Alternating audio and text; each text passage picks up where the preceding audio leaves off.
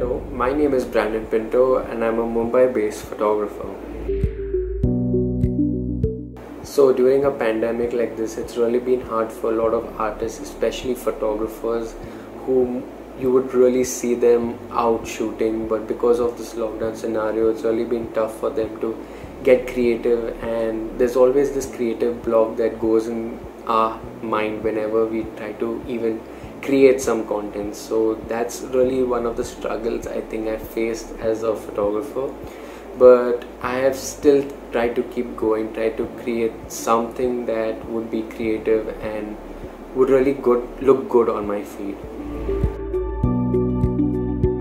So i in photography i've really been rejected when i'm do, doing uh, street photography like clicking pictures of strangers. So it's really been tough because not everyone's open to it and in india the mindset of clicking picture of strangers is very bad. So it's like you can't click pictures you have to always ask permission. So it's really been tough and i've been rejected many of times. But how i overcome it was i've tried to come out from my comfort zone. I used to be a shy kid. So i tried coming out of my comfort zone trying to be more open and that's made me feel more open to them and get my shots.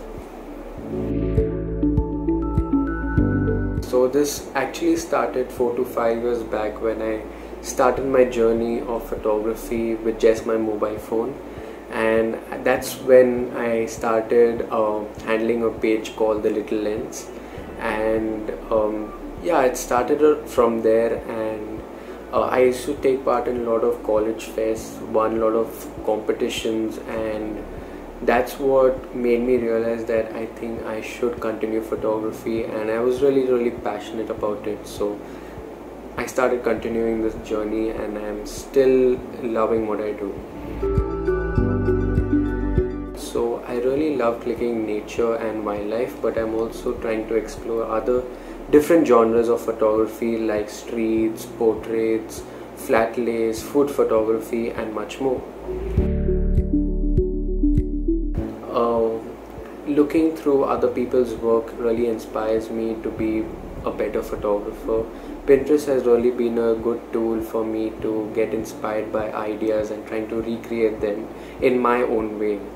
So that's really been a really good inspiration tool, I feel and obviously having supportive parents have really motivated me to continue the journey and to keep going.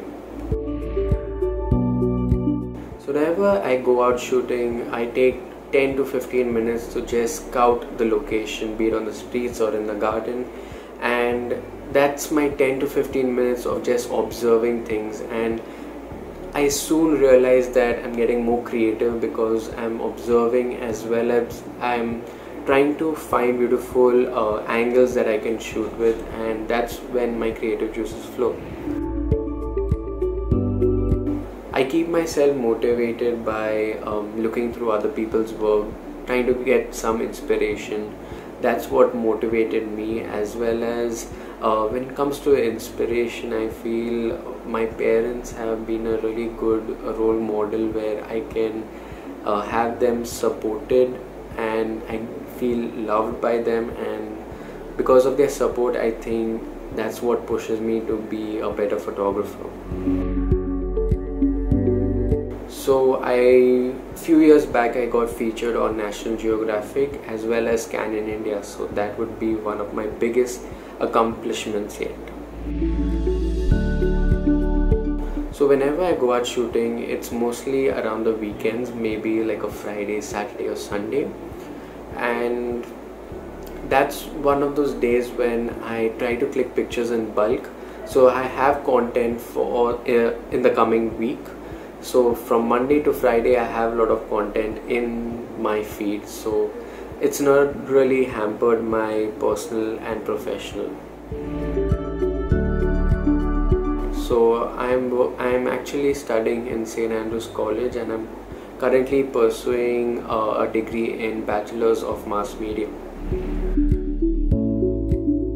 The biggest aspect would be that it was all started five to six years back, and I feel the experience is what has brought me here today my biggest piece of advice would be to not compare yourself to anyone do your best compare yourself to just yourself and um, yeah just be original and try to make content that you like and secondly make the content for your audience but always put yourself priority